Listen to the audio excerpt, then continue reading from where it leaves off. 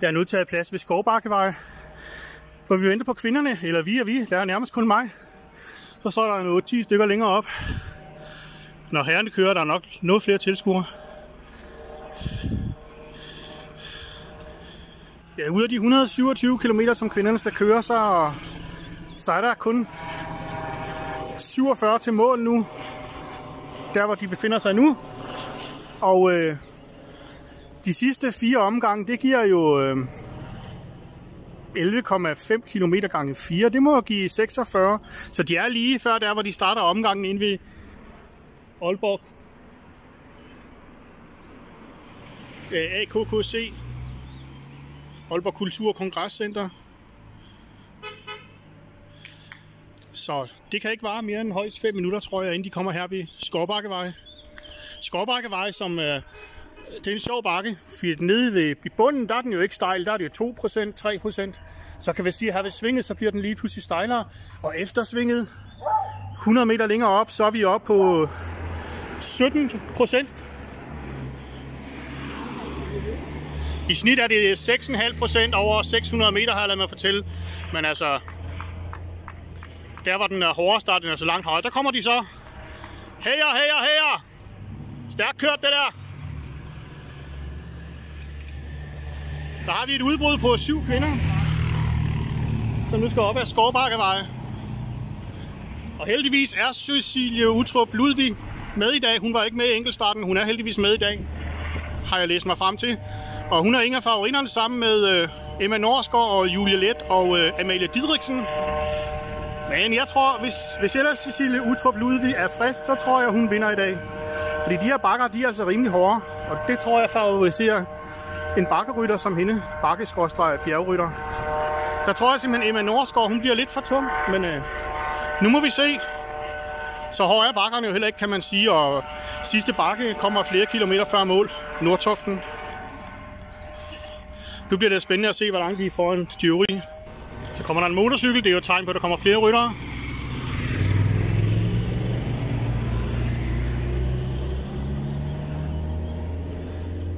Man ikke vi kan forvente at se noget felt lige om lidt. Jeg er ikke lige klar over, hvem det er, der er i udbrud.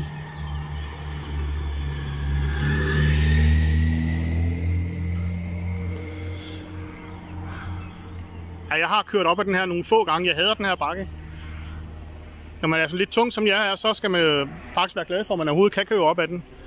Man skal ned i de laveste gear. Så kan jeg bedre, bedre lide den anden bakke i Nordtoften. Den er sådan lidt nemmere at køre op af. Den er længere, men til gengæld så er den øh, lige knap så stejl. Den er sådan 800 meter lang og stiger 5% i snit. Det var så lidt en finte, der kommer ikke nogen rytter efter de motorcykler. Men det kan være, de kommer nu. Efter den næste.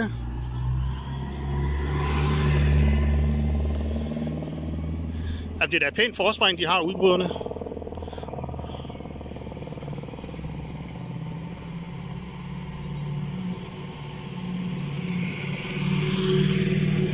Der er en herre, der forsøger at løbe op af. Det kan man også. Der er noget, der hedder Aalborg Brutal Marathon. Og der løber de faktisk op ad Skovbakkevej her. Så kommer feltet her. 1, 2, 3, 4, 5, 6, 7, 8, 9, 10, 11, 12, 13, 14, 15, 16, 17, 18, 20, cirka 25 er de. Cirka. Og så var der, jeg mener, der var, var der ikke syv i udbruddet, tror jeg.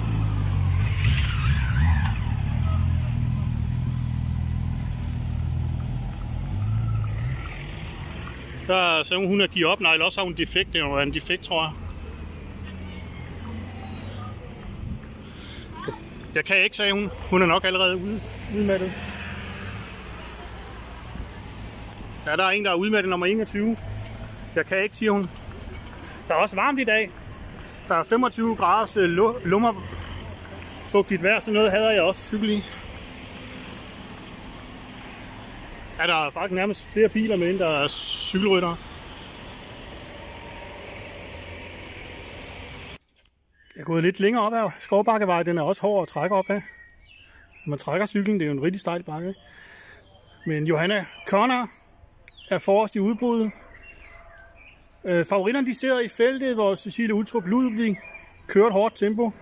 Så er det spændende om øh, Norsgaard, Didriksen, Julie Lidt, de kan følge med, især når hun trækker op ad bakken her. Så har vi 1, 2, 3, 4, 5. Der er nu kun 5 udbrydere tilbage. Der var jo 7 sidst, mener jeg. Eller var det 5? Jeg synes, der var 7 sidst.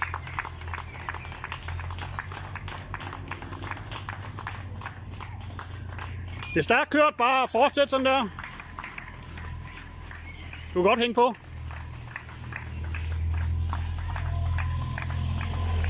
Det er ikke favoritterne, der er i udbruddet. Men de holder nok ikke, tror jeg. Fordi favoritterne, de sidder bagved. Det er en rigtig led skovbakkevej. Det er også lige her omkring den er. Det er lige her, hvor jeg står, den er stejlig, så kan man se, den flader en lille smule ud.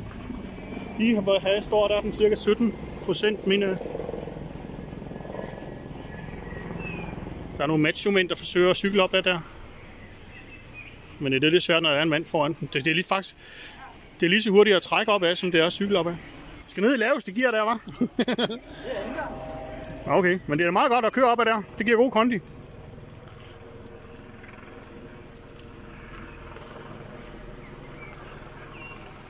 Så kniber det alligevel lidt der.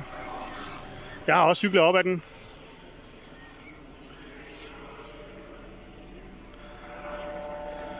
Når jeg cykler op her, så er jeg altså også nede på omkring 8 km i timen, lige der, hvor det er stejligt. Så er det kun lige, man kan træde op. Vi kan ane Aalborg Stadion i baggrunden, masterne der.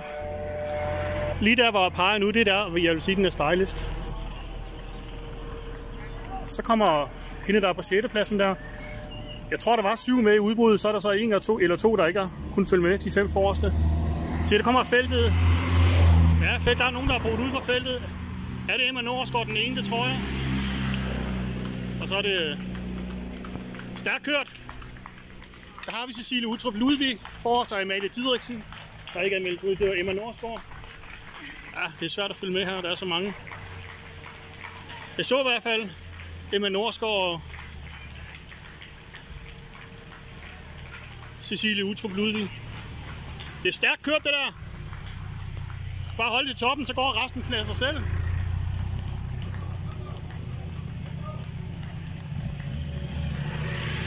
Der er lige godt og vel 30 km til mål. De skal op ad den her to gange mere.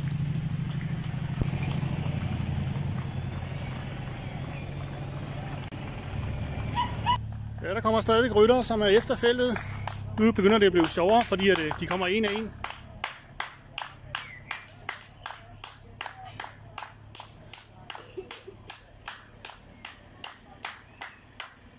Det er stærkt bare at kunne køre op ad den der. Det er stærkt, det der.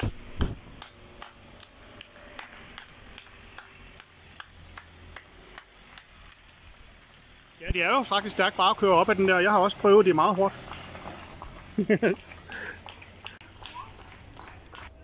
ja, der er en motionscyklist, der har forvildet sig ind på ruten. Undrer mig, hvordan han kan få lov at køre der. Det jeg troede faktisk ikke, man måtte. Servicebilen i gang nu.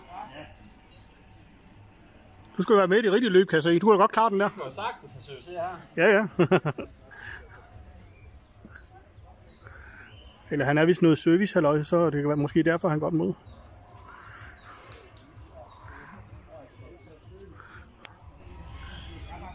Ja, der er nu 27 km til mål, så der er vel 5 km til, de kommer her.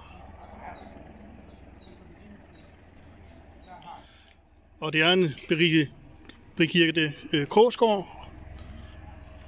Og det er en øh, Birgitte Krogsgaard og en Trine Andersen. Josefine Hudfeldt og Julie Maribo, som sidder forrest i udbruddet. Så der er fire kvinder tilbage. Jeg tror ikke, de holder. Jeg tror stadigvæk på Utrup Ludvig eller Emma Norskov. Jeg får en melding om via feltet, at Cecilie Utrup Ludvig er kørt fra. Hovedfeltet er nu 30 sekunder foran hovedfeltet, og lige godt et minut efter udbryderne, så det tegner lidt til det, jeg forventer, at Utrup Ludvig måske alligevel vinder, for jeg tror, hun er den stærkeste her på Aalborgs stejle bakker. Ja, nu er det som om, der begynder at ske noget, så man ikke udbryderne, de kommer om lidt. Der er stadigvæk fire, og de skulle være cirka et minut foran Cecilie Utrup Ludvig, som skulle have et halvt minut til hovedfeltet. De øvrige favoritter. Der er en øh, motionist dernede, der ser, om ikke han kan følge efter den. Ude på cykelstien eller fortorvet. Kom så, I skal bare holde hende der utrup Ludvig bag jer. Det er stærkt kæmpe, det der.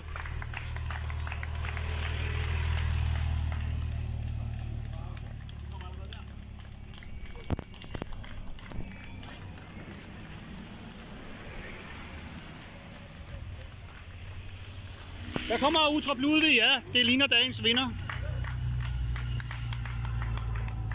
Det er stærkt. Du kører fra dem alle i dag. Du vinder. Bare bliv ved.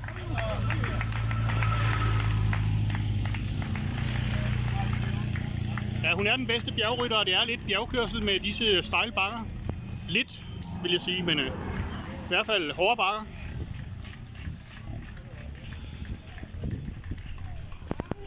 Nu skal vi se, om hun har mere end det halve minut til feltet, som hun havde sidst jeg hørte.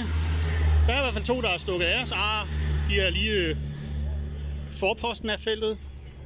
Er det Emma Norsgaard, der kommer der, det tror Det var, hun er cirka halv minut foran.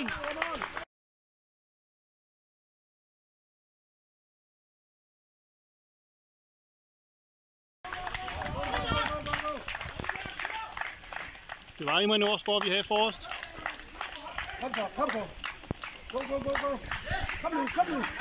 Så, kom nu. Jeg så ikke lige, hvem det var, der var sammen med Emma Nordsgaard. Godt kæmpet. Bare bliv ved.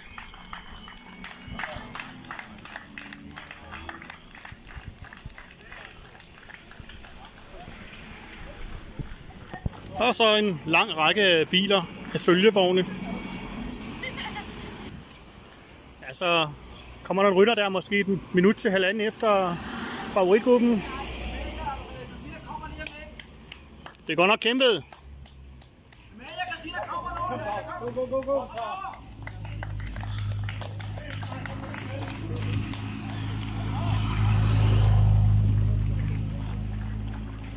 Så kommer tre yderligere der.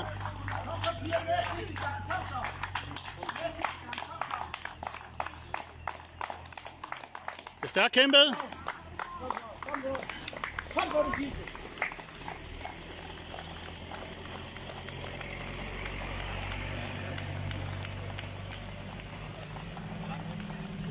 Ja, det er et godt sted, jeg står her lige der, hvor det er stejligt. Kommer der fire flere dernede. De er selvfølgelig uden mulighed for at blande sig i topstriden. Men det er også en, en ære at gennemføre sådan et løb. Så får man da en placering ved DM.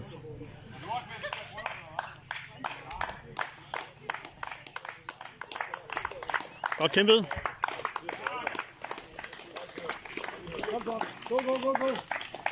Nogle ser mere lidende ud end andre.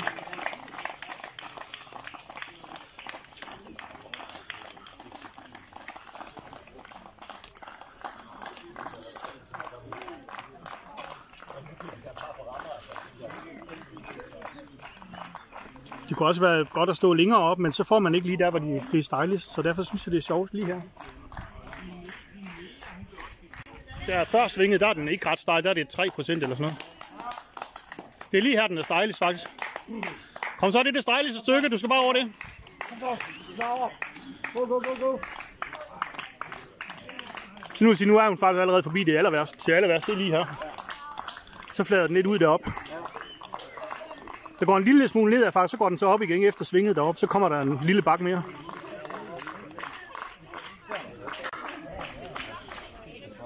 Jeg nåede ikke lige at få det med, men der var vist en, der stod af. Det var hende den sidste, vi så. Jeg vil sige, når man er kommet op ad bakken, så kan man da lige godt fortsætte. Det kan også have, at hun har en defekt. Så bliver slinger fra side til side. Det er sådan, jeg kører, hvis jeg kører op. Så skal der også slingres for at kunne klare det.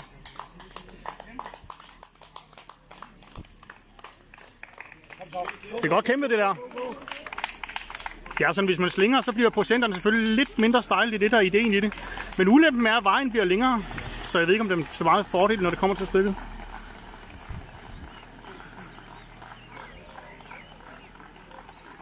Hvis man slinger, så undgår man jo de helt vilde procenter. Så så bliver vejen jo længere. Jeg var lige inde på feltet, og der står der, at øh, der er 18 km til mål, og at øh, Utrup Ludvig nu kun er 10 sekunder fra de, fra de to forreste, som er en øh, Julie Maribo og en, en, der hedder et eller andet med Andersen. Jeg kan ikke huske fornavn. Så Utrup Ludvig 10 sekunder fra de forreste. Må det ikke hun hente den her på næste bakke, hvis ikke hun allerede har hentet den der? Ifølge feltet.dk er der nu 14 km til mål, så de nærmer sig sidste passage.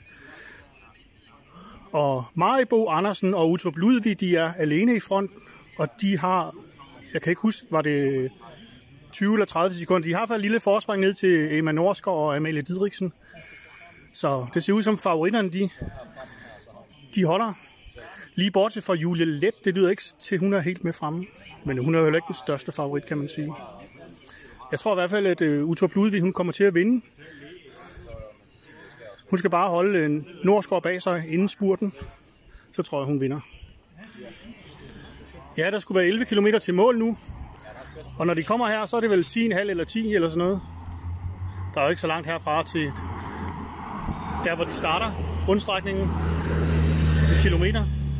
Og er det Utrup Ludvig, der er stukket af der? Det vil jeg da tro. Det må ja, det er Utrup Ludvig, der er for. Det er ikke ret langt, hun er foran. Og Emma Norsgaard og Amalie Didriksen, de kommer lige efter, ser det ud til. Kom nu, du skal stikke af fra den op ad bakken, hvis du skal vinde. Der kommer Emma Norsgaard. Ja, og Amalie Didriksen også.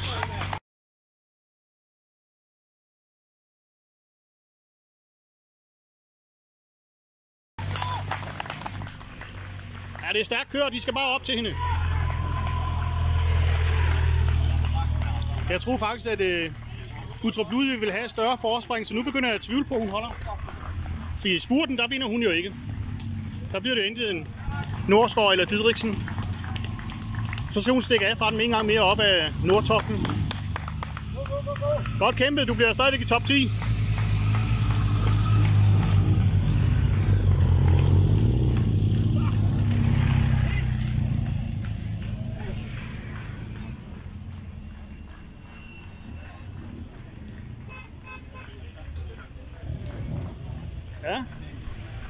Lidt overraskende udvikling af lige nu.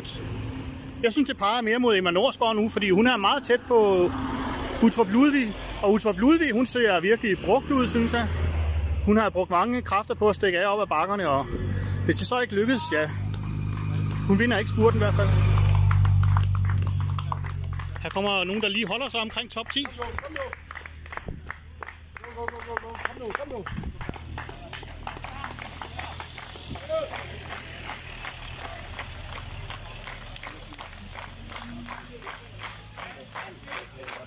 Det er sådan, der er en øh, stigning mere. Den hedder Nordtoften. Den er lidt længere, men til gengæld ikke så stejl. Det er nok nemmere at gøre en forskel her, end det er på Nordtoften. Ja, så kommer det nærmeste, vi, det er vel det nærmeste, vi kommer et felt, det der. I hvert fald den største gruppe. Og de er vel sådan nummer 12, 12 18, 20 stykker. Altså i deres placering. Lige uden for top 10. Godt kæmpet.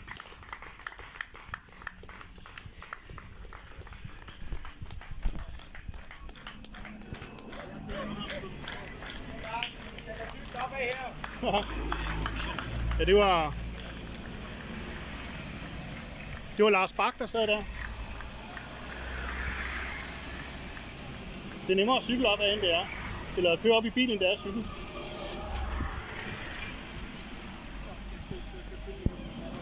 Lars Bak, han var heller ikke bjergrytter, men øh, lige den her, den kunne han selvfølgelig nemt have kommet kom op af.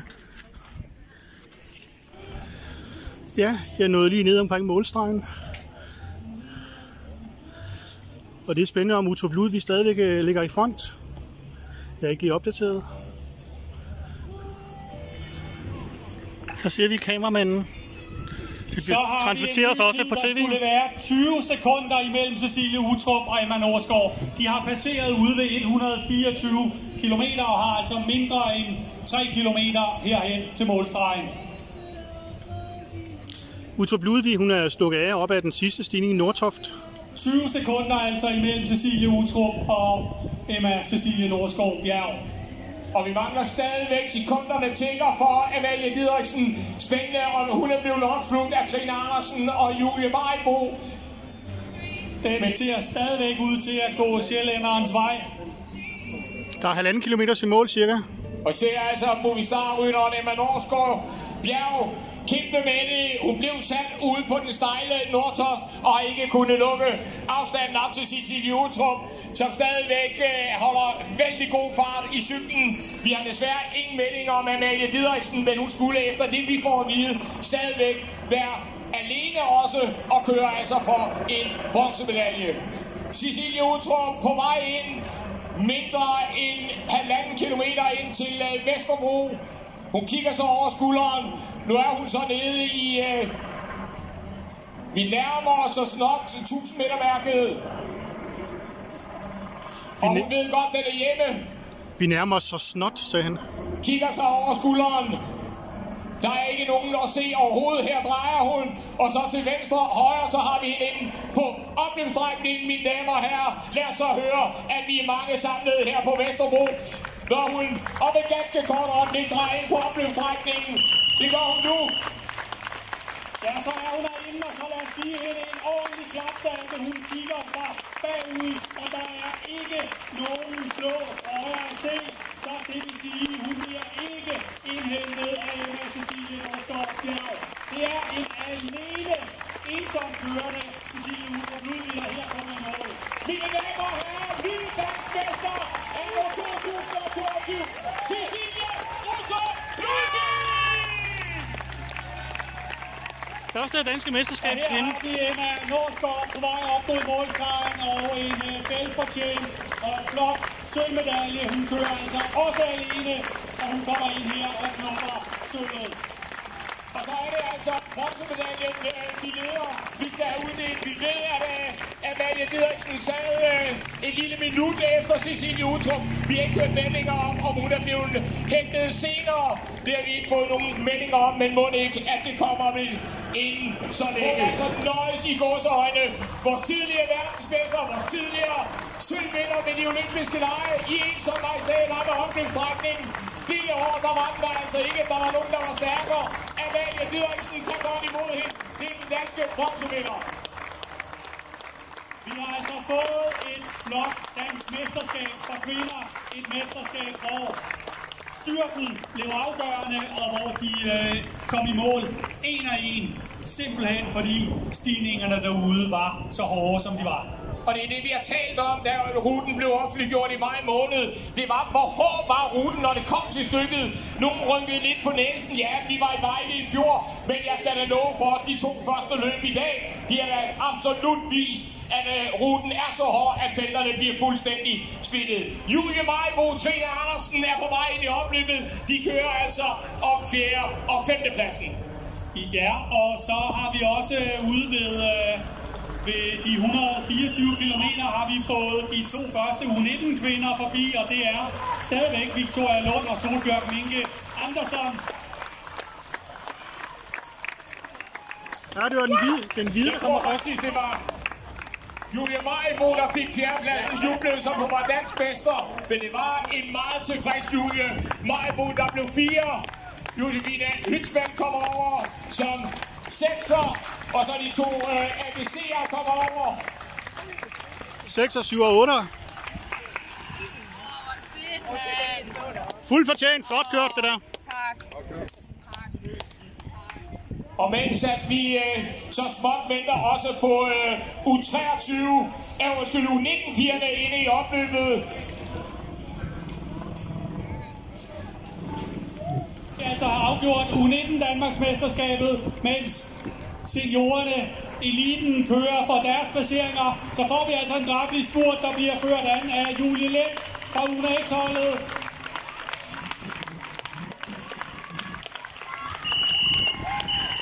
Og vi fik Solbjørg Minke Andersson over målstregen som den første U19-rytter, og hun bliver altså dansk mester for U19 foran Victoria Lund. Ja, U19 og damerne, de kører sammen. Følelsesladet Cecilie Ultrup, der står med familien herovre i hjørnet under teltet. Jeg vil give en stor, stor applaus til Cecilie Ultrup, dansk mester!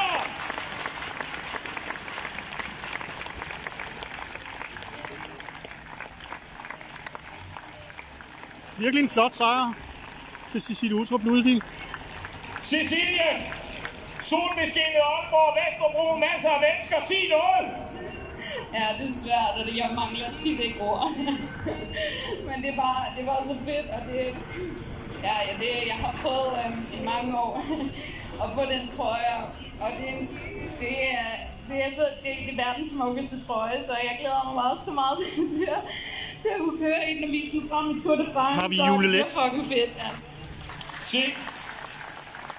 Cecilie Utrup, hvis vi nu skal tænke nogle timer tilbage, og vi stod her i formiddags, ambitionen, taktikken, den fulgte nu 100%. Det var som om, det var aftalt. Det var det, du skulle. Du vidste godt, det var de to stigninger, der skal afgøre det danske mesterskab. Ja, øhm, de, udbruddet fik lidt lang, lidt lang tid.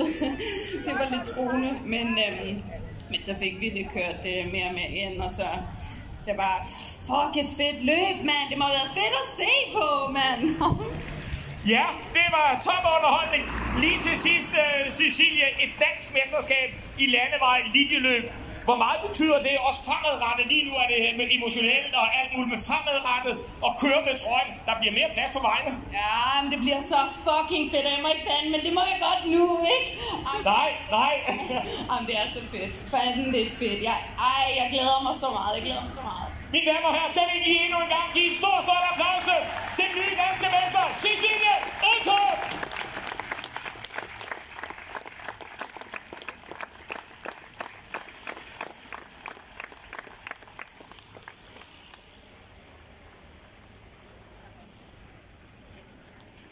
Ja, hermed vil jeg nok forlade kvindernes løb om lidt. Lad os lige se de sidste. Kom i mål her.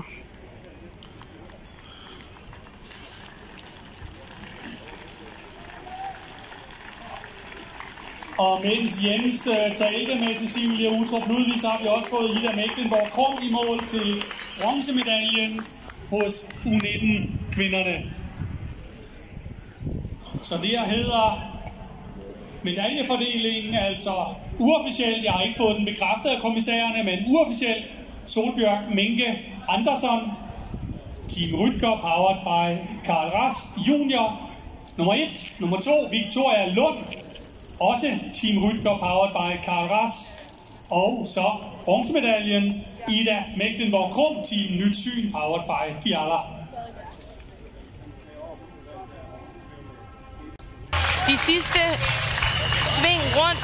Hun er inde på opløbsstrækningen. Hun er blevet nummer tre til de danske mesterskaber de sidste to år. Hun ryster faktisk på hovedet, tager sig til hovedet. Cecilie Utrup Ludvig, 26 år, og kan nu lade sig hylde som dansk mester i cykling for første gang nogensinde. Folket på vejen her i Aalborg Julie Strå klapper hende hele vejen i mål. Til stor jubel er hun altså dansk mester 2022, Cecilie Utrup Ludvig. Flot, flot præstation.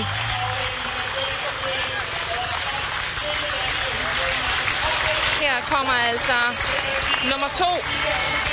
Også nummer to fra sidste år.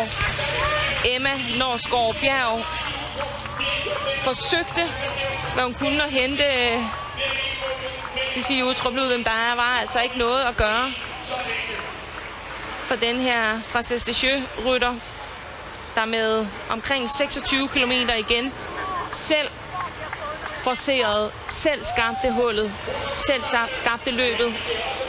Ja, det er Der flot. skulle ende med at gøre hende til øh, dansk mester 2022.